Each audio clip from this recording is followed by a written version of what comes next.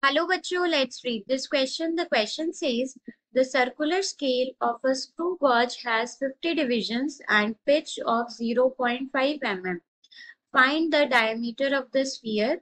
Main scale reading is 2. A option 1.2 mm, B option 1.25 mm, C option 2.20 mm and D option 2.25 mm. So यहाँ पर हमारे पास जो की कॉन्सेप्ट यूज़ होगा वो है हमारे पास reading of a screw gauge reading of a screw gauge so question में हमको गिवन है कि हमारे पास जो सर्कुलर स्केल है स्क्रू गॉज का, उसमें टोटल 50 डिविजन्स है।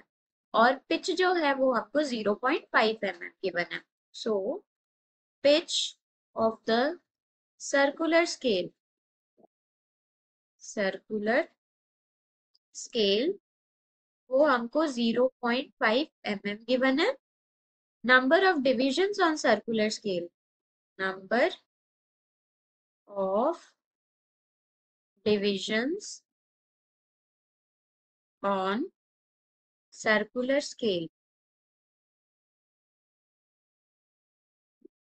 वो हमको गिवन है 50 सो so, हमारे पास जो लीस्ट काउंट होता है वो होता है pitch upon number of divisions on circular scale so pitch है 0.5 divided by 50 so this will be equals to 0.01 mm.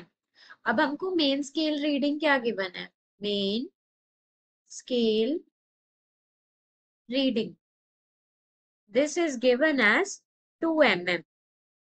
Marking on scale जो है डायग्राम में, वो गिवन है आपको 25 marking on circular scale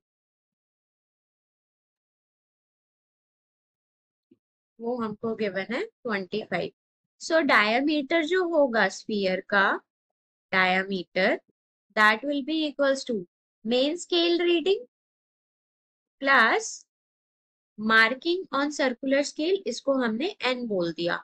N into least count so ये है हमारे पास two plus twenty five into least count है zero point zero one so this will be equals to two plus zero point two five so हमारे पास जो diameter आएगा diameter that will be equals to two point two five M M so here correct option क्या हो जाएगा correct option so correct option will be D option so here D option is correct so D option is right hope you understood it well best of luck